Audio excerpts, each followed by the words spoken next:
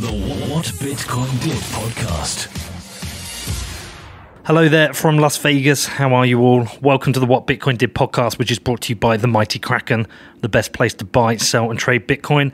I'm your host, Peter McCormack. And next up in my beginner's guide to Bitcoin, I have an interview with Jack Mallers where we introduce you to the Lightning Network. But before that, I do have a message from my amazing sponsors. So, first up, we have BlockFi, the future of Bitcoin and financial services. And with their recent announcement of their Bitcoin rewards credit card coming soon, 2020 is going to be a massive year for BlockFi. I caught up recently with their CEO, Zach Prince. He was explaining it all to me, and I told him, Come on, Zach, get me a card ASAP. I want to play with this. This is on top of their other announcement that they've got a mobile app coming soon as well. It is going to be a great year for BlockFi. They already have two amazing market leading products. They have crypto backed loans and they have interest accounts for your Bitcoin, Ether, or GUSD. And with another month coming to a close soon, I can't wait to get my interest. I am a customer of their interest accounts. I love it. I love my Bitcoin working for me. If you're interested in finding out more, if you're interested in checking out BlockFi, I recommend you do your own research, then head over to blockfi.com, which is B L O C K F I.com. And also, we have the mighty Kraken. As I said, they are the best place to buy, sell, and trade Bitcoin. Consistently rated the best and most secure cryptocurrency exchange, and whatever level of your experience, Kraken has designed and built a streamlined Bitcoin exchange for newcomers and experts alike. Their platform provides world class financial stability by maintaining full reserves, healthy banking relationships, and the highest standards of legal compliance. They pair their global 24 7, 365 live chat with an extensive support center to help ensure that your questions are answered and your needs are met around the clock, no matter who you are or where you are. And with Kraken Pro, their beautiful mobile first app, you can trade Bitcoin wherever you want. There is no better place to trade Bitcoin. And if you want to find out more, head over to kraken.com or download the app, which is available for the iPhone and Android. Just search for Kraken Pro, which is K R A K E N P R O. Okay, so on to the show today, and we're at part 13 of my beginner's guide to Bitcoin. We're getting towards the end of the series. There's three more shows to go, and I've loved making it. I've loved the feedback. Everyone's telling me that they've been sending it to their friends and their family. I really appreciate this. And it's also not just for new people. I've had people telling me that it's been a great refresher. So I love the feedback. Thank you so much. I really do appreciate the support with this. And listen, the beginner's guide wouldn't be complete without a look at Bitcoin scaling and layer 2 solutions. So, I've kind of left this out of most of the series, but it's now time to introduce you to the Lightning Network. And I got my buddy on, I got the founder of Zap and Strike, Jack Mallers, to help me out with this. Like some of the other shows, it does get a bit complicated at times, but please just bear with it. There are plenty of additional resources available in the show notes. Scaling Bitcoin has been a long and acrimonious debate. And if you listen to my show with Marty Bent, where we talked about the history of Bitcoin, we covered some of this. It's lasted years and it led to the creation of alternative competing protocols such as Roger Ver's Bitcoin Cash, known as Bcash. So listen, I hope you enjoy this. And as ever, if you've got any feedback, you can reach out to me. My email address is hello at whatbitcoindid.com. Jack, yo, how you doing, man? Yo, what's up, buddy? All good. We're here in Vegas for Mhm. Tones, unconfiscatable. Should be fun. Mm-hmm. But we're going to talk about Lightning. And I've been doing this beginner's guide. And what I've tried to do with it is make it as simple and basic as possible. And what's been good is it's been great for new people coming into Bitcoin, but it's also been a good refresher, refresher for people. But I've avoided talking about Lightning so far. And the reason being is that I think throwing people into Bitcoin and Lightning together at the same time is a bit much. I agree. Level one Bitcoin, level two Lightning, a bit like layers, right? Yeah. So yeah, I've avoided it so far, and you know what I really want to get out of this is people who are interested. They learn a bit, they maybe buy a bit of Bitcoin, they move it around, they get used to it. But I can't do the whole series without at least mentioning Lightning because people are going to hear about it. But anyone listening, really, you know, baby steps. Get used to Bitcoin first, and then we'll migrate them into Lightning. But I think today is the time to get people introduced to Lightning. No one I'd rather do it with than you, of course, man. Aw. Oh, oh. so uh, yeah, here we, here we go. So we can't talk about lightning without talking about scaling. Mm-hmm. And people will have heard about the scaling debate. I did a show on the history of Bitcoin with Marty Bent. We talked about the scaling debate. So the reason lightning exists is because that there's a limit with the block size, right? So we, let's break it all down. Let's not even start with what is lightning. Let's talk about why lightning exists. Okay? Yeah. It's a huge topic. So let's do the background. There was a debate about scaling Bitcoin. What was that all about? Yeah, I'm gonna go as beginner as possible. You tell me if I'm doing a good job, bad job. Yeah, thumbs up, thumbs down. So yes, there is a, a block size limit, and the Bitcoin blockchain can only support so much throughput. However, if I were explaining this to some of my hometown buddies who are non-technical or to my parents, I would even phrase it differently, in that what Bitcoin accomplishes is just generally an inefficient thing. Getting consensus between a, a globally distributed network of peers, so random people all over the world, getting them to agree on something every single 10 minutes. Can you imagine having to text, you know, tens of thousands, hundreds of thousands of people and getting them all to agree on, on one thing every 10 minutes? Like, that's generally an inefficient thing to do and and you can raise things like the size of, of the blocks, but that's not a scalable solution. Um, these this is always going to finding global consensus with a distributed network of computers is always going to be hard. So I.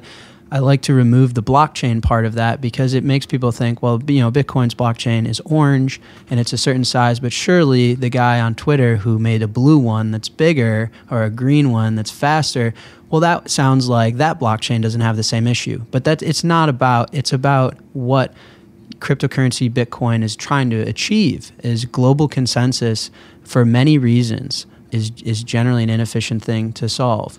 Well, let's for go. Let's go back a step then. Let's do a little bit because I covered the technicals of Shinobi. We talked about how Bitcoin works. Yep. But let's do a little refresher on that. Let's just do a very basic primer about how Bitcoin works, how the transactions get loaded into blocks. Let's just do a quick primer on that. Yeah. So uh, Bitcoin transactions are broadcasted uh, on this network. And so to make a Bitcoin transaction, it's the equivalent of picking up a megaphone and announcing to the entire world, hey, this is what I'm doing. And I have the authority to do this because this signature pans out, like the equivalent of signing a check. Now the entire world has to receive that message, and and maybe you don't have a direct connection to the entire world. Maybe I tell Peter, then Peter turns around and opens his megaphone and tells you know your son, and your son tells his friend, and the friend tells his mom. But eventually, this transaction gets broadcasted throughout the network and then gets in the process. It enters what's known as the mempool, and, it, and we go into a process of trying to get it included into a block. And miners prioritize these transactions based on uh, the fee that I've announced. Like, hey, I want to send Bitcoin to Peter. To the, I'm saying this to the entire world. Um, can everyone verify that I'm doing this correctly, that I'm honest, uh, that I have the right to do so? Oh, by the way, I'll pay a few cents to do it so that you prioritize me. And then miners work on, on proof of work, creating a valid block, uh, and they include uh, transactions up to a specific size. And that size exists for a lot of reasons, but uh, and and then they mine a block, and that block gets propagated similarly. And so that's how it works. And so that's clearly like very, very inefficient. And you know, raising the size of that block or whatever, you know, what sounds trivial on Twitter is is really not. And not only is it not, uh, it's just not a very scalable solution. It's a Okay. hot fix. So, as I understand it, the blocks are transacted every 10 minutes. They include a- about every 10 minutes. Right, sure. They include a bunch of transactions, hmm but that block has a limit of one megabyte, right? Yeah, let's say it has a capped size. Yeah, exactly. So a, a Bitcoin transaction, uh, it, it's not measured on a, on a per unit. It, it's me- measured in bytes. It's it's a size to it. So Yeah. the block, it's uh, the equivalent of, you know, like maybe one liter's worth of water per unit, right? It's Yeah. measured in size. But what we're and, and I know there's a difference between the block limit and the block weight. We won't get into that right Yeah, now. Let's just yeah, let's keep it super simple. That every 10 minutes, a megabyte of data can be trans uh, can be broadcast to the entire network. Mm-hmm. And the reason the scaling deba- debate happened is because you know when the first discussions happened, as I understand it, there were a bunch of people looking ahead saying, look, if Bitcoin grows, if the network grows, there's a limit to how many transactions we can get in every 10 minutes. We might get to the point where these are full, and if these are full, that means people aren't going to be able to post their pr- transactions. So a debate started, right? Yeah. So even I mean, if we want to go to before the 2017 scaling debate, I've been around since you know 2013 with my family. The the problem was no one knew why Bitcoin was important really, or we didn't have such a fundamental understanding that we do today. Like you can go onto TV today and watch someone talk about stock to flow and scarce hard money. You know, back in 2013, that wasn't that didn't exist And the beautiful thing about Bitcoin is the value is in the eye of the beholder. You know, I've said this before. There's people that are in my hometown, Chicago, that uh, work in the Bitcoin space because there's never been such an easy way to make so much money as a trader. And they love Bitcoin because they are becoming fabulously wealthy, which is a perfect use case. Then some of your interviews, like Venezuela, El Salvador, where people are using Bitcoin to enhance their chance of surviving and living a healthier, more prosperous life. And then there was a sector, you know, Silicon Valley venture capital is how it was marketed as, that thought we were going to have things like micropayments and new internet commerce experiences and there are going to be applications and world computers and it was going to change computing and quantum and every toaster was going to have a miner. And there are a lot of these ambitious things which are totally justifiable. If that's your your vision of bitcoin then it is what it is. But then what started to happen is when people understood the technical limits that didn't support some of these ambitions you know so much money was was backing and going into these ambitions and these projects so that they eventually we're like, well, let's just raise it. You know, like if we want to be worth, you know, we just raised our Series Seed round with a valuation of $5 million. And if we need to be worth $15 million by next year, we need the limits to go up because on my slide deck, it says we can only process this much. And so we need to raise those. And that was, in my opinion, sort of the origin. It was it was it was competing visions and competing theories on why Bitcoin was important, which you know you can probably relate to today by just following Roger Ver on Twitter right? You can probably see that he still has a competing vision for why Bitcoin is fundamentally valuable. And that, in my opinion, was what started started it. And it and it got escalated when people realized that they didn't have the authority to make any changes. Yeah, so interestingly, and we were talking down in the lobby. I'm working on a series about the scaling debate. It's going to come out, going to talk about what happened. And, you know, a lot of people will say the scaling debate wasn't about one, two megabyte uh, block size. It was really about control of the network. And uh, that's a very interesting point, and people should be aware of that. And when they research the history, they'll see it. But what we'll do for the sake of this, we'll, we'll keep it to the, the basics of scaling because it's it is an interesting debate. And you know, as you said, people are finding different use cases. You know, some is spending, some is trading. You know, whatever the use case is, people are transacting on the network. And if the blocks are full, you know, what happens? So the issue is that uh, it's going to take a user a longer period of time to find finality in their transaction. So where their transaction is con- considered cleared or final. And there are trade-offs that you can go about in, in considering that transaction final. Like you can just pay a lot more to basically budge everyone in line. Is the you know equivalent analogy. It's a free market for exactly. So I can either pay a premium to budge everyone in line, or I have to wait in unknown time. I don't know who else is broadcasting transactions, um, what transactions are getting relayed to specific peers on the network. So I can set my, my fee at one sat per byte at, at one penny or less, and I can just sit and wait around. Um, but if finality in my transaction is valuable to me, then it's going to cost a premium. And that's, that's the problem. If you can imagine a consumer Bitcoin application in 2014 trying to get people to buy coffee with it, and a user is basically given the decision your coffee's $5. Now you can pay a $5 equivalent fee to have that transaction be finalized in the next hopefully 10 minutes. Or you can pay a negligible fee, but you may have to sit in the coffee shop for who knows, one hour, 10 hours, two days. And, and that was the trade off at the time, which obviously was an issue to some people. So I think the point you're trying to make here is that treating Bitcoin, the base chain, like a commerce layer for transactions, it's not really viable. Even even when the mempool's empty, you know, you still can be looking up to maybe an hour for a transaction to get through. Correct. Yeah. So there there is no certainty in finality for your transaction, which is is the most important. It's never officially cleared until it is in a block, and then you know, subject to debate there. Six blocks, three blocks, a hundred blocks, mm-hmm. and so yeah, and I, and I, you're correct in saying that the base layer should be isolated from these type of use cases. Um, but I would even bring it back to again what the base layer is solving. Bitcoin in its purest form is this Byzantine general's problem of finding consensus, getting people who don't trust each other, don't know each other, to agree on something every 10 minutes on average. And that will never be inefficient. We'll, we'll never be able to scale that to every use case ever. Uh, just period. Don't care about the color of your coin, the engineers your coin, who founded the coin. if you are trying to accomplish what Bitcoin is trying to accomplish, there's no way around this problem. Okay, so great lesson there. Don't think of Bitcoin as some everyday commerce purchase. And look, it might be fine if you're buying a house, you know, or you're buying a car, because you don't need that instant transaction. It can can take an hour, and it's okay to spend ten, twenty thousand, maybe even a thousand dollars with a you know with a fee of your one, two, three dollars. Mm-hmm. So the first lesson there is that stop thinking of the base chain as standard e-commerce. And I great, I get that, and I buy that so if we start talking about the limit of the blo- of each block being up to a megabyte, we have we had an experience in 2017 of what happens when there are a lot of transactions. So we had a bull market, there was a lot of trading, a lot of buying and selling. The market went crazy. What happened then? Bitcoin transactions got really expensive. You know, I actually remember, I'm going to butcher the year, but uh, it, this happened before 2017 too.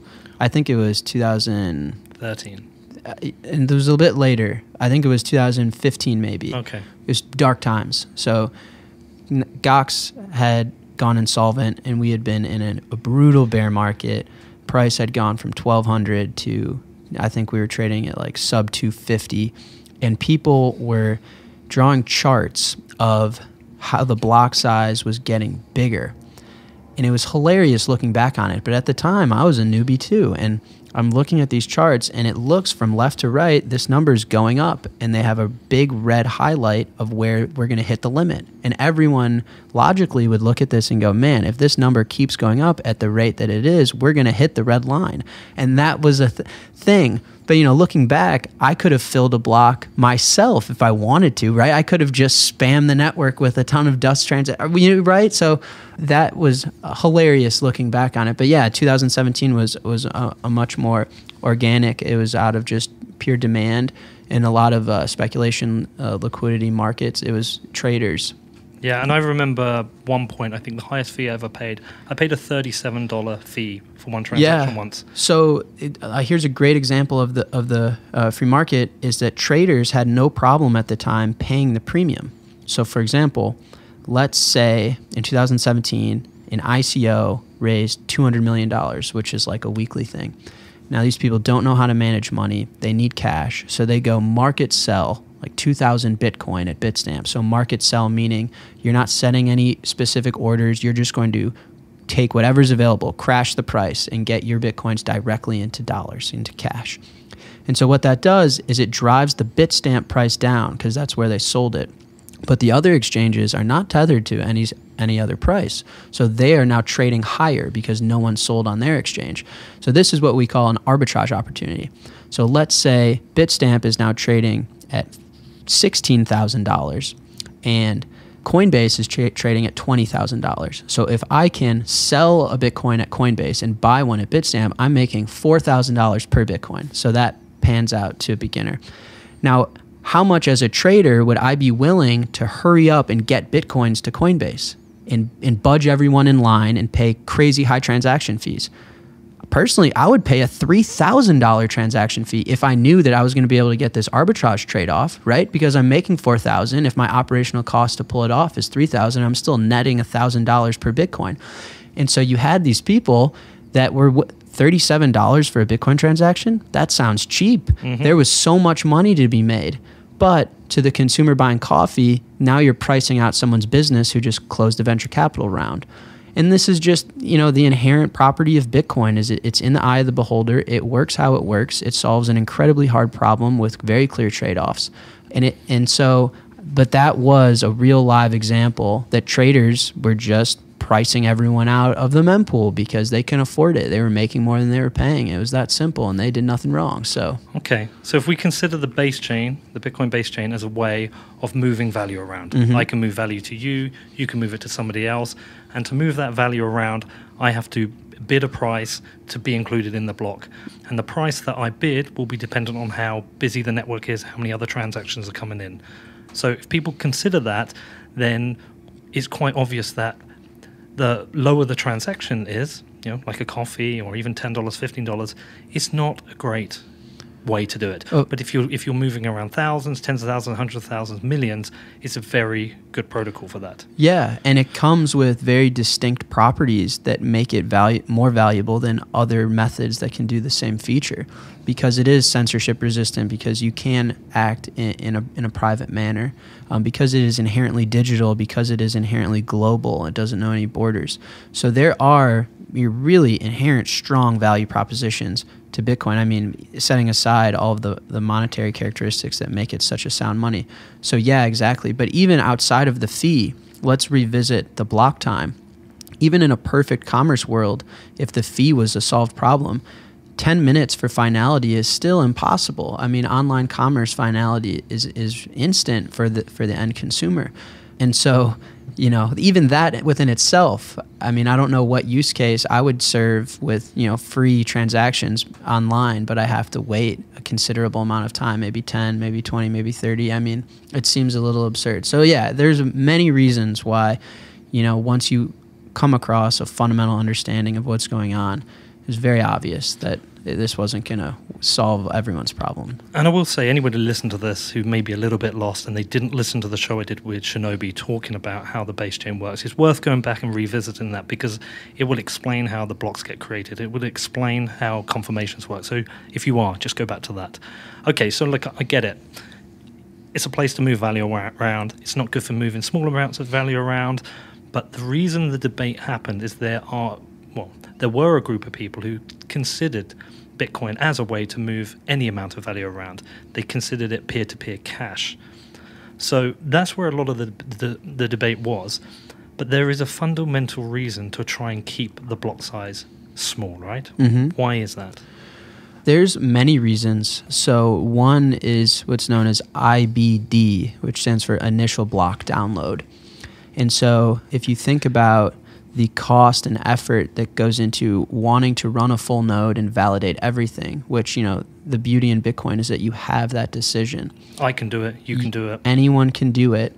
If the amount of data, if we basically allow people to DDoS, to spam the network and make the, the amount of data that we have to maintain, download, and add to extraordinarily high, um, we want these the software to run on like a home laptop on smaller devices, ideally one day on a cell phone. And so IBD is a big one. Block propagation is a big one.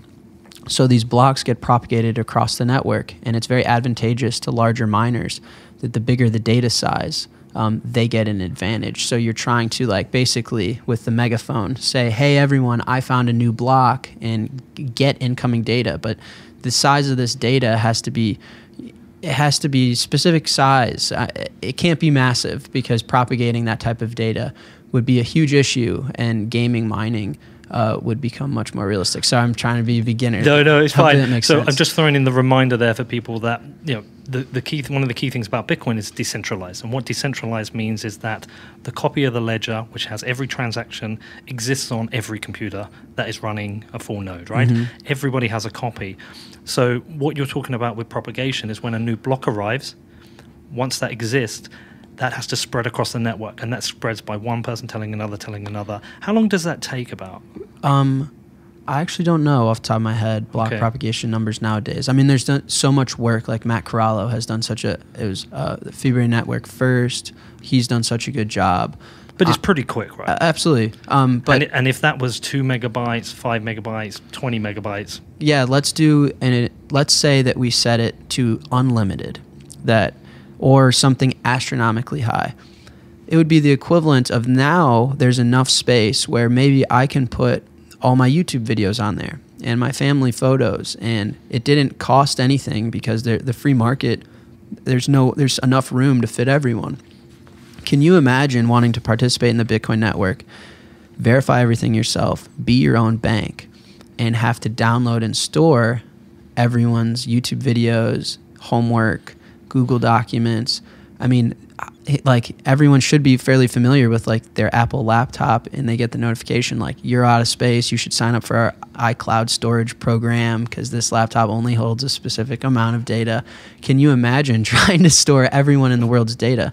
So yeah, and and then for someone new that wants to start, we have you know over a decade now's worth of history with Bitcoin, and downloading all of that data and verifying it yourself, it would essentially price out any normal person. You would have to have a server farm that had the computing power and the capacity to store to be a part of this thing. And that's exactly what it's not about. So the beauty of it is Bitcoin is a very secure network, a very very secure network for transacting and, and sending value around.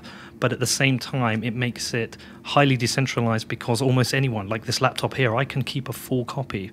Whereas what you're saying is that if you know if the block size was unlimited and say each block was like 500 megabytes or a gigabyte, I couldn't do it on this laptop. So the idea, you know, a lot of the people who want to keep the block size down is they want to maximize decentralization by allowing anyone to run a full node. Yeah, yeah, and and in my brain, I'm going, I'm forking the road so because there's so many things. So that's absolutely correct. Block propagation for mining is also absolutely correct. You also have to think about it. I myself use Bitcoin as a store of value, and changing the rules from up under me is a huge problem. So I run many full nodes, and not only am I verifying blocks and transactions, but I'm also verifying the monetary policy that someone can't mint a block with 10 million Bitcoin in it. And that everyone is following the rules, and that the properties that I signed up for in 2013 are still intact. So it's it's your ability to verify everything: transactions, the monetary policy, um, authority to move money, that ability, that right is foundational, and, and you don't have to go by anyone uh, to come across that right. You can download free and open source software to gain the right to n- not only be your own bank, but verify um, a global money. And there are examples where this has gone wrong as well. So, for example, Ethereum, you know, their blocks can be quite huge, right? The whole blockchain is massive, and you know, we've talked about Bitcoin trying to be maximally decentralized. Whereas Ethereum now is heading on a trajectory of becoming more centralized because it's very hard for people to run a full node. Yeah, so I know there was some public uh, shaming where people tried to run a full node and get through this initial block download that we're describing. Eric the- Wall, yeah. Eric Wall did it, and I'll share his tweet storm about that in the show notes. Yeah, the data set is so large, and also the Ethereum clients sound like they're very buggy. And um, for all of the so-called amazingly talented engineers that work on Ethereum, there sure are a lot of bugs for something worth so many billions of dollars. So it seemed like there were more than one issue. But yeah, initial block download for Ethereum is a huge problem. Next up, I talked to Jack Moore about the Lightning Network, but before that, I got a message from my amazing sponsors. So, for the last few weeks, I've been talking about CypherSafe, and if you want a really cool way to back up your private keys, then their newly released Cypher Wheel is super cool. And you know what? They've given me a couple to give away. So, look, when I get back to the UK, I'm going to do a little competition online, put it up on Twitter, and have a chance for a couple of you to win them it is a unique way for you to store your private keys, and it's machined from solid stainless steel. They went through one of Jameson Lopp's famous tests, where he hammers the shit out of these devices to see if there are any weak points. And you know what? They updated their steel to 303 stainless. I don't know what the fuck that means, but it sounds badass, and if it passed one of Jameson Lopp's tests, then it must be pretty fucking cool. The Cypher Wheel is designed to be physically stored with a padlock and comes with a tamper evidence seal, so you can be aware if there have been any attempts to steal your seed words. So listen, if you've bought a hardware wallet, if you're taking your Bitcoin security seriously, you need to go the extra step and secure it from physical disaster with a Cypher Wheel seed storage device.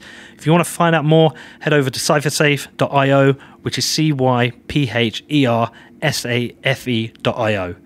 Also, a big shout out to Travel by Bit. They just sponsored my recent travel through South America. I was recording a bunch of video content. I was meeting Bitcoiners, but also looking at the protests in Santiago, Chile. And I also took a visit to Venezuela, Colombia, and El Salvador. There's also a trailer for that. That's available on my Twitter. Just go through my feed and you'll find it. Some pretty cool stuff there. But let's talk about Travel by Bit. They are a travel website which allows you to book flights and hotels using your Bitcoin. And they also offer sats back on purchases up to 10%.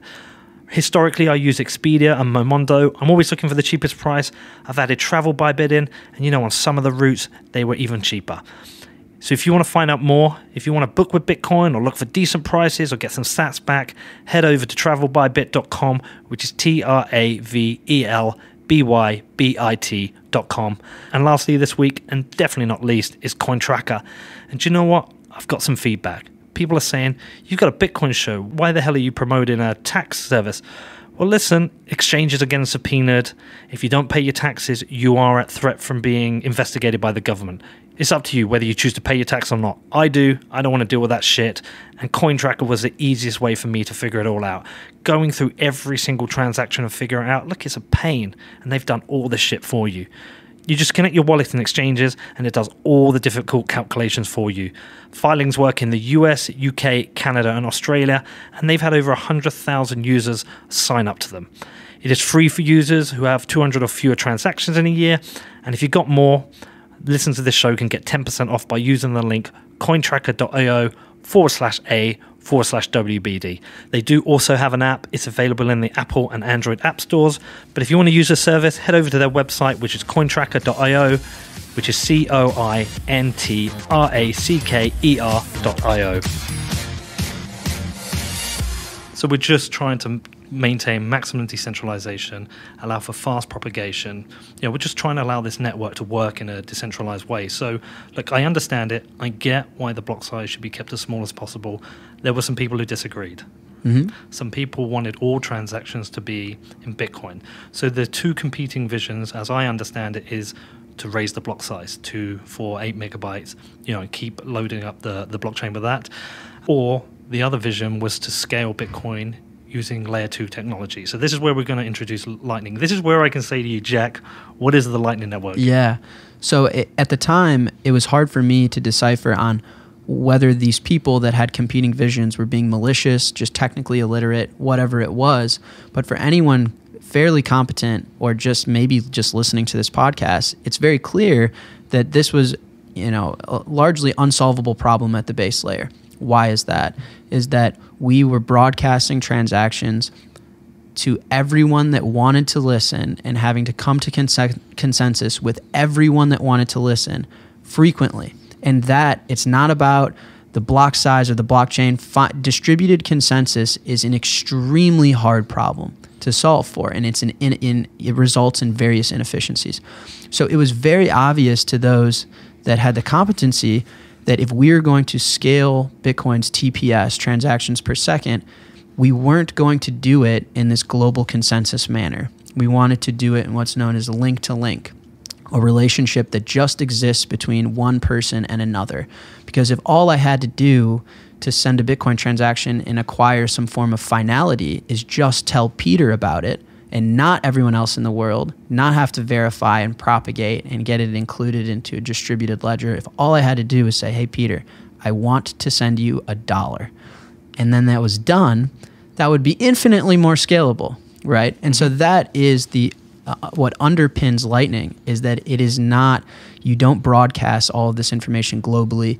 No one on Lightning stores data infinitely uh, that anyone can append to it is a link to link relationship uh, than rather than a, a broadcasted peer to peer like relationship, I guess. So we can go into a bit of the technical stuff here, and I will I will rein you in if it goes a bit too technical, but we can cover some of that here. We can talk about how it works. I think people will be interested, and I would say, look, you know, as we go through this, if, if your mind's a bit blown, you're thinking this is a bit much, don't worry. You know, your actual user experience when you start playing with Lightning, get your head around it, will be fine. But just out of interest, can you talk about how technically it works? Yeah. So uh, Lightning is a layer on top of Bitcoin, and Okay. so every Lightning participant uh, is a separate peer, and they run a node, and there is a separate protocol, uh, which is just simply messages defined on how these peers talk to each other. So how would I say? Hey Peter, I would like to send you a dollar. Um, that is all defined separately and lives. Uh, you can visualize on top of Bitcoin as instead of maybe within Bitcoin. Okay. And so, what we want to accomplish is that we can essentially update each other's balances in real time without having to tell everyone else uh, about this. And so, how it works is uh, we open what's called a channel. Uh, you can think of a channel as like a ways of communicating between each other and, and storing our balance. And we do that on the Bitcoin blockchain. So we do make an initial transaction on the blockchain, which establishes our starting balance, let's say. So I open a channel to Peter, which is a line of communication and, and the start of our Lightning relationship, and I give myself $10 and Peter has zero. and we now have have a, have a Lightning channel. Uh, and then what we do is we continually update this transaction between each other through ways of, of uh, cryptographic signatures. To for there's ways of, of protecting against what's known as cheating and and for finality. Uh, and so we are able to in real time exchange just simple messages like, hey, I want to send you a dollar, quickly sign these contracts, and then update our balance. So now I have $9, Peter has one. Peter mows my lawn tomorrow morning. Now I have $8, Peter has two. And we're doing this just between each other. And we don't have to broadcast it globally. There's no form of consensus globally. This is a link to link relationship. It is a Jack to Peter relationship. It, it, there's no consensus, there's no block propagation, there's no distributed ledger. And so that is is the inherent benefit and why it scales infinitely. Uh, you know, hopefully that that's clear. Is it just scales infinitely better. So we just send money back and forth to each other in this channel, mm-hmm. they're, and they're you know generally referred to as Sats, which is a denomination of Bitcoin. But we just send in Sats back and forward to each other. So I understand that. So if that works, then do I have to open up a channel with everybody I want to send money? To? Right. Of course not. Cool. That would defeat the purpose, right? Yep. How many times have you and I transacted in Bitcoin, Peter? Have we actually done it yet? Zero. Yeah, zero. Right. If for some weekend or for some reason this weekend in Vegas we had to, it surely would be a shame if I had to open a channel just to do it, and that may be the only transaction we ever do in our lifetime. And so, no, what Lightning accomplishes through what's called an HTLC is a uh, you know, I'm sure everyone has heard the term smart contract in Bitcoin. Bitcoin is programmable money, so you can define the rules and, and enter what you can think of as traditional contracts. And, and through these contracts, uh, you can trustlessly route payments between peers. So if I wanted to pay, uh, let's say, Tone Vays, the host of this conference, if Peter has a relationship with Tone and I have a relationship with Peter, in theory, I can pay Tone trustlessly by leveraging Peter to forward that payment. Now there are some caveats, like Peter has to have the capacity um, and and the coins um, to basically front me, but that is how it works, and so that uh, you should be able to leverage a few healthy relationships within the Lightning Network to pay a, a large, vast majority of it. Okay, so I, I kind of get the picture of what you're saying here is, and the stuff you're saying is all happening in the background, right? Yep. Like, people aren't really aware of what's going on. But I think what you're saying is, as more people join the Lightning Network, it becomes a lot easier to send money from one person to the other because it just routes it through various different people, and it all happens in the background, and nobody knows what's going on. Yeah. So when Peter asked me to try and explain Lightning uh, at a beginner level, I was doing some thinking in the shower, and this is uh, sort of my attempt. And cut this out if you don't think it's great. That's fine. Um, Leaving this in now. So let's think about this: is we have this established channel, and paying each other back and forth is trivial. I have ten, Peter has zero. So if Peter tries to send me a payment, we would reject it because Peter has zero. If I try and send Peter two, we sign these contracts and say, "Hey, listen, the balance is now eight to two. Agree? Agree. Signed. And that is legally binding for all intents and purposes, right? You know, not not literally, but now it's legally binding that I have eight, Peter has two. Okay. Now the question then is how do we trustlessly get money to Tone, who Peter has a separate relationship with, and that I don't?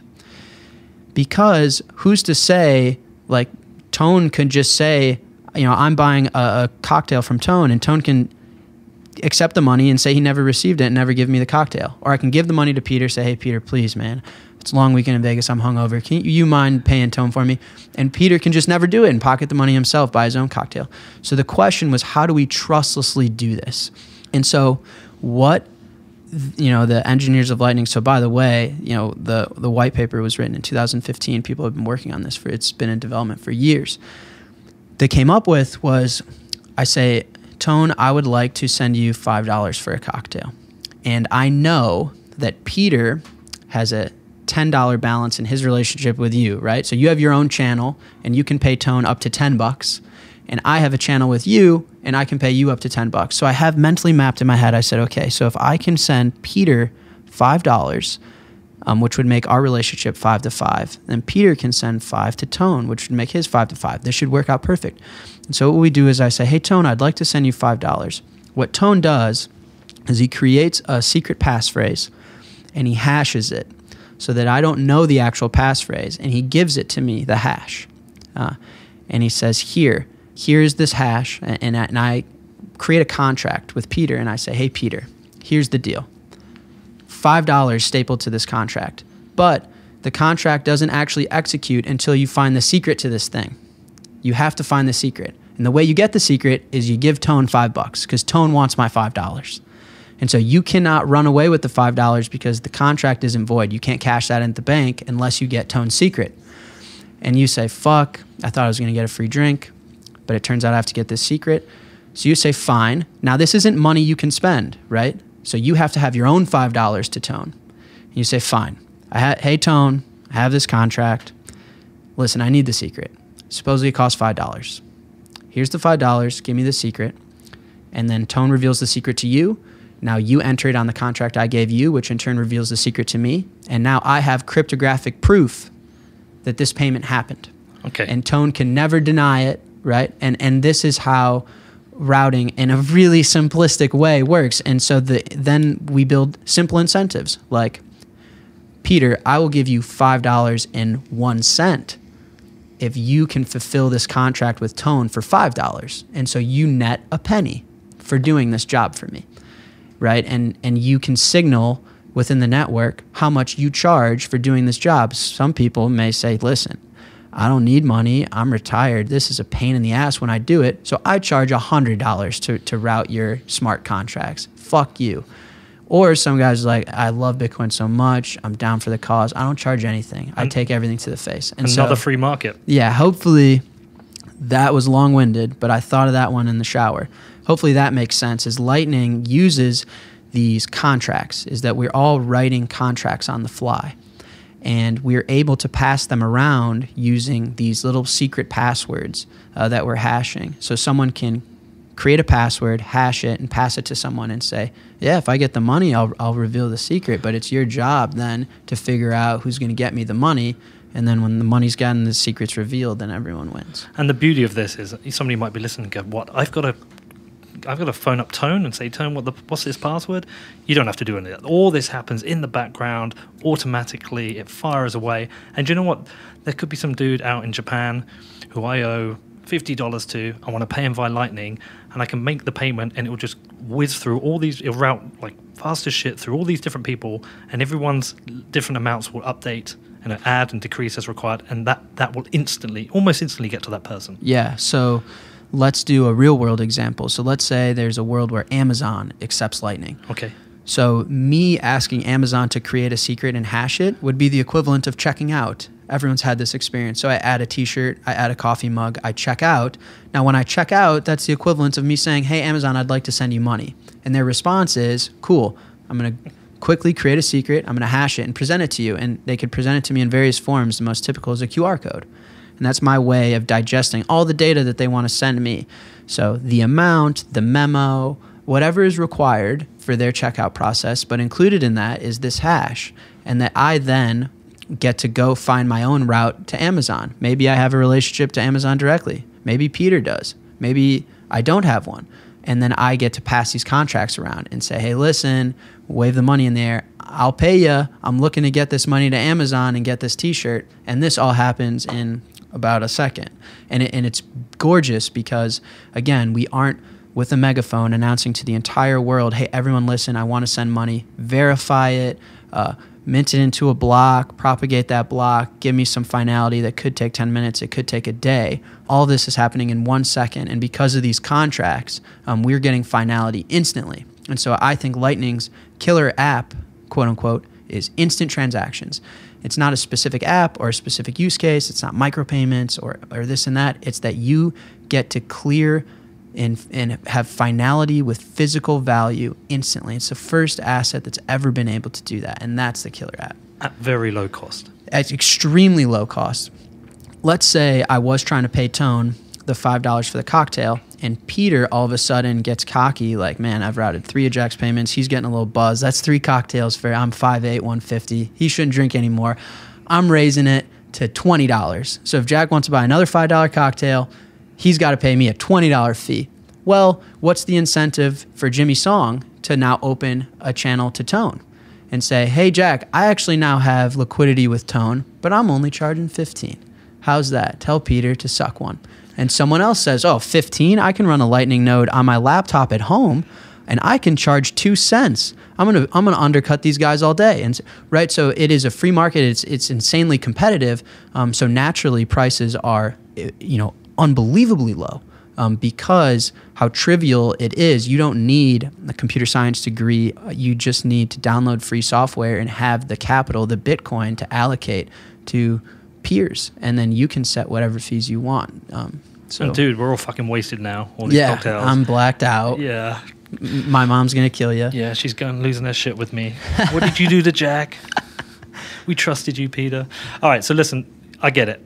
I get how it works. Now, let's try and explain the actual experience for the users when they first see Lightning, because they might be listening to this and going, "What the hell?" Let's talk about the actual experience, and let's just be aware there are Bitcoin wallets and there are Lightning wallets. Some of the Lightnings are custodial, which means you trust somebody else to store the Lightning for you. Some are non-custodial, where you are holding it. Mm-hmm. But let's talk about the just let's go with the non-custodial wallet. So let's talk about that that experience. So they want to they want to test Lightning out. They want to have a first play with Lightning. They download a Lightning wallet. What do they do to actually get some Bitcoin into that wallet? What's the process? I think it depends on the trade-offs you want, but there are Lightning wallets out there like Phoenix where all you have to do is deposit to it like a tr- traditional Bitcoin transaction, and all of a sudden you can scan and pay these Lightning QR codes. All right. So if somebody's already done a transaction, they've maybe sent it from a Coinbase or a Kraken to their Bitcoin wallet. They'll have a Lightning wallet, and maybe they'll just send like 0.01 of a Bitcoin into this Lightning one, and it will com- it will. What, what- what's actually happening here? Is suddenly turning them into Lightning Bitcoin? What talk about what happens? Oh man. Um, so it really depends on the wallet of your choice Okay. and these types of preferences. So if you send it to a wallet like Blue Wallet, this is a custodial wallet where the bitcoins you send them aren't necessarily the ones that you're spending. They already have bitcoins on Lightning for you ready to use, and you're basically depositing bitcoin as collateral to spend out of their Lightning wallet, right? Okay. something like Phoenix or Breeze, they're using they're much more clever in that you can pay to Phoenix. They're gonna open what's known as like a turbo channel and, and allow you to spend uh, money instantly. But essentially, you're you're going about the process of establishing these relationships on the Lightning Network or um, leveraging someone else's relationships, right? You, you have to have it is a separate protocol, so you have to have a ways of communicating with all these people on this network and be able to say, "Hey, Peter, I want to send you a dollar. Hey, Peter, can you forward tone a dollar?" Okay. You have to have a way to talk to these people, and so that's that's all these wallets are doing, are just letting you talk to them. Okay, so I get myself a Lightning wallet. Send a little bit of Bitcoin there. One of the things we have to remember and remind people that whilst Lightning is fast, that first transaction into the Lightning wallet is still a Bitcoin transaction, right? So they're going to have to wait for that to confirm sometimes. depending on- Potentially. yeah, depending on the wallet. But You're right. Yeah, like Phoenix, for example, allows you to accept instantly with a zero balance. And again, there's so many trade-offs to the point where, to a beginner, I would advise you not to rack your brain on a, a lot of trying to understand that the difference between all of this. The user experience is going to, you know, be so great. So I would- would But just have a play and then start to understand the different trade offs that Yeah. each wallet has. I think that us as humans are going to bump into more and more QR codes as life goes on. Lightning QR codes. There's so many advantages to this as a payment rail and, and uh, ways of finality and settlement. And so, yeah, you'll bump into one. Um, you should just try and pay it. Have fun. Okay. Get a wallet and, and scan it and experience it. And one of the main differences with the experience that people have to get used to is that most Bitcoin wallets exist priced in Bitcoin with the decimal one point something something Bitcoin. But when you go into the world of Lightning, everything's pretty much priced in Sats. What is that? Explain that to somebody. So uh, Satoshi is a denomination of Bitcoin. So one Bitcoin is 100 million Satoshis. And so uh, Satoshi is just a, a much friendlier denomination to a wallet that's dealing in such smaller sizes. If one Bitcoin right now, let's say, is uh, exchanged at $10,000 per unit, um, it'd be really tough for me to say in Bitcoin how much five bucks is. Whereas Satoshis is just a much friendlier denomination to say, hey, can I pay you 10,000 sats instead of 0.0000001 or something, yeah, yeah, right? that makes sense. So for the user, if they've got a Bitcoin wallet, say it's got a Bitcoin in it, and they send 0.01 Bitcoin into their Lightning wallet, that means they're going to have a million Sats. Mm-hmm. Yeah. So it's just a denomination. That's like something easy to get their head around. Yep. If somebody is new is coming into the Lightning as well, is there anything else you think they need to be aware of? No, I think uh, I think you just got to try it. I do. Just have a play. This the yeah the same message that we were talking about earlier, and that the value of Bitcoin is in the eye of the beholder. It's very similar in Lightning. Uh, You know, if you're interested in the technical, if you want to understand how your wallet works, there's so many resources available to you. But maybe you're not. Maybe you don't care at all, uh, and maybe you just want to scan a QR code because you need to play the game or buy the article or send your friend money, a remittance. So just have a try. It would be my would be my suggestion. There is no uh, outrageous risk or fear. You know, there. I'm sure everyone's familiar at this point that's listening to the risk of custodial versus non-custodial. The, those type of trade-offs still exist in Lightning as they would to normal Bitcoin, storing on exchanges versus storing your own keys. And so that that still scales to Lightning. But outside of that, as long as you understand the trade-offs, I would just just have a try. That's very similar to the message I've had with Bitcoin all along is that it can be very overwhelming. You can listen to all this stuff about the technicals and how it works and mining and you know propagation and you can be scared off by it. But really, once you go and buy your first bit of Bitcoin and you download a wallet and you send it to yourself, you get a picture of how easy it is. And it's like a eureka moment when that tra- transaction appears. You know, it's very similar with Lightning, but the great thing, as you said, with Lightning is instant finality. Yep. All right, cool. So that's cool. I get it. What about some of the interesting tech that's coming with Lightning? Is there any future tech that's coming? I mean, you're working on something, you should talk about that, but is there anything else that's coming that people should be excited by? Oh, all the time. So if you take the concept of instant clearing and settlement of an asset natively, and what I mean by that is, you know, sending the United States dollar maybe from New York to California may seem instant on your app, but it's not physically moving that dollar, right? Bitcoin is natively digital, which is an amazing thing. And we are physically clearing and considering a transaction final in real time to a physical asset.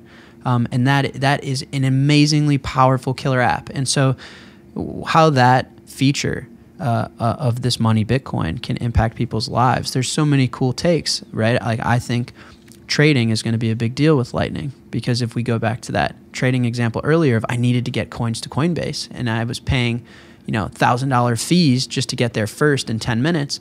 With Lightning, in theory, I can get there in less than a second. And so I think instant finality for this commodity in markets is going to be a huge deal. There's going to be a lot of demand. I think instant finality in online commerce and consumer payments is going to be a big deal. I think instant finality for remittance payments that are can make remittance payments now that are generally you know close to free, extremely cheap compared to Western Union, uh, and they settle instantly, and they know no borders. So I think all of this stuff to a beginner, like everyone should be really excited that this is a uh, one of the more important uh, enhancements and inventions in money. If we think of money as a technology, Lightning is, is a huge development in money as a technology. It's a really, really big deal. We've never seen a money be able to act like this. And so, uh, to a beginner, um, I think everyone should be generally pretty excited. How would instant finality affect your life? I have no idea, but everyone has an opinion, and so many people are working on it, and so it's a just generally exciting time. So, if you do take an interest, it is worth going down the rabbit hole a little bit, learning a bit more about how it works in the background, getting an idea about the trade offs for the wallets, and just having a play. And it's, it's very cool. Okay, look, we can't close out the show without you talking about Strike. Yeah. Uh, Jack's been on the show. If you haven't never listened to my show before, Jack's been on. Is this your third or fourth time? I've actually lost count. Oh man, I think This, this, is your fourth. four. Yeah, this is the fourth time we've talked about Lightning before. He was at the first time Jack was on the show is when I did a series about Lightning. It's up on my website. Did a whole month of shows about Lightning. It's worth checking that out. We met in Boston, did our first show. But uh, yeah, Jack's been on the show a few times, but recently announced a new product he's got. Lightning. Like, do you call it Lightning Strike or just Strike? I call it strike. Strike. So talk about Strike. Explain what it is because I, I think it's worth hearing. Yeah. So if we think about all these, the Lightning Network and all of these trade offs, the problem Strike was trying to solve, is trying to solve, and is solving is that people are going to be bumping into these QR codes more and more. And Lightning, um, for all of its benefits, are it's going to be part of everyone's life uh, as time goes on. And so the question is, how does someone trivially scan the QR code, or trivially eh, be able to display one and, and accept a QR code? And so, yes, you can download a custodial wallet. Yes, you can set up a non custodial wallet. Um, but Strike is for users that don't care to own Bitcoin. They don't want to deal with the volatility. They don't want to deal with taxes and report to the IRS. They just want to pay the article. If an article costs five cents, they just want to be able to scan the QR code and click pay. And that's it. They don't want to go to Coinbase. They don't want to have to pay taxes on it. And so Strike allows you to link a bank account or a debit card, various payment methods, and scan a QR code. And so the infrastructure handles all of the conversion, the volatility, the taxes, the Lightning infrastructure, and, and paying and managing liquidity and creating these contracts we talked about and cryptographically signing them. Um, it does all of that in the background so that you basically get to interact with this new economy online that has these features of uh, instant uh, finality to small, tiny micropayments to global remittance. You get to participate in this econ- economy with your bank account. And you don't, yeah, you don't need to own Bitcoin. You don't need to be, you know, very geeky or have to spend time understanding trade-offs. All you need is a bank account to be able to participate. And so we just really trying to lower the barrier of entry. And how's it going? When can we play with it? When can I get my hands on it, dude? It's great. So we have this beta, and thousands of people have signed up, and it gets bigger every time I refresh. So that's overwhelming for us. So right now, uh, I hand out a batch of invites every week, but now it's getting quicker, twice a week. And so uh, we're hoping to unleash the beast uh, fully publicly uh, before this coder, co- uh, excuse me, quarter is over. So uh, what is that, like 40 days or so? Can you bump me? Yeah, of course. Put me up. Let me yeah. have a play. Yeah, you'd All be right. our first uh, out of U.S. user, so everyone on Twitter is going to be super jealous. But yeah, yeah, I like. I want that. I want that. You got All right, it. cool. So that sounds amazing. Can't wait for the release of that. Um, and also all this stuff on Lightning, super interesting. Appreciate you coming on and doing it. But look, you know Lightning better than anyone. To me, anyway. You're the guy. you're you're like my person I come to with Lightning stuff. But it, are there resources out there? Like I sent people to Lopp's website for resources. I know he covers Lightning as there as well. Are there any other places people can go and learn about Lightning? you know what? Yes, of course. Give it a Google. Like I, there's a Bitcoin wiki. I think is great. uh, Which I don't know if that's um, the actual name, but it's uh, by David Harding. It's fantastic. It's one of my introductory understandings of, of some of the lower level. But I can say that the you know one of the best commodities of Bitcoin is the people. I've learned more from people than I have in Bitcoin than I have in my entire life and anything else. So, you know, when Peter asked me to do this episode, I was very nervous on how I was going to try and explain Lightning to a beginner, and I hope I did a good job. But if I didn't do a good enough one, you can just hit me up. There are Slack channels like the Lightning Lab Slack community. There's plenty of Telegram groups, the Zap Slack, where these people are so nice and so brilliant and so smart, um, and they're willing to help. And so that's what I would say is if you have enough of a desire, just ask questions. It's the best way to learn. All right. So where can people hit you up, Jack? I'm just my full name everywhere online, pretty much. Uh, so Jack Mallers on Twitter is uh, is the best way. All right, cool. Well, listen, look, I'm going to say to people, if you didn't listen to my show with Shinobi before this, go back and listen to it. Look, go and listen to all of the Beginner's Guide shows because they're all, they're all helpful. They all lead up to this. But then also, maybe after this, you want to check out my uh, Lightning series, a bunch of cool interviews there, really helpful. But same lesson as all along. Just go and download a wallet, have a play. You'll get the hang of it by playing with it. You might screw up. You're only going to lose a couple of dollars here or there, but just go and have a play. That's the way to do it, man. I agree. All right, Jack, as ever, thank Thanks you. for having me, buddy. Let's go and enjoy Vegas. All right. All right, man. All right, so what did you think of that? Bit complicated at times. Look, it was for me. When I first got into Bitcoin and I started looking into the Lightning Network, I was lost with it. It was very complicated, but I learned by using it. Like I've said with the base chain, just by playing with Lightning, I've got the hang of it. There are some intricacies. There are custodial wallets and non custodial wallets, and you need to understand what the difference between them is. But listen, if you're new to this, if you're just getting used to transacting on the base chain, then the Lightning Network may be too much of a jump right now, but it's an important scaling solution for Bitcoin. So as you go down the rabbit hole, this will be something you will have to come back to. And like I said, the easiest way to learn is by using it, by downloading a wallet, by sending some Satoshis around. And you can follow that up with some further reading. Lopp's always got some amazing resources on his website, but there will be more in the show notes. I also have a series about Lightning, which I recorded last year. I did nine shows over the space of a month. That's up on my website. If you go to whatbitcoindid.com, there's a section for all my specials. Go in there, all the shows are there. Lightning is still relatively new, but in the past year, we've seen so many UX improvements. Some of the intricacies and difficulties are being abstracted away with some really great development work. And also, I love hearing from Jack. He's such a great thinker with Lightning. He's always seeing the big picture. I think this is the fourth time now he's been on the show. So, look, a big thanks to Jack. Definitely worth checking out his Zap wallet and also Strike, something new he's been working on, which is very exciting. Anyway, I hope you enjoyed this as we're getting to the end of the beginner's guide. If you haven't listened to them all, make sure you go back and check them out. If you've got any feedback, let me know. And if you think your friends and family would benefit from that, please fire it over to them.